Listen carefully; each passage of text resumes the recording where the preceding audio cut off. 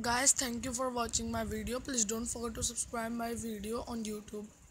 and like also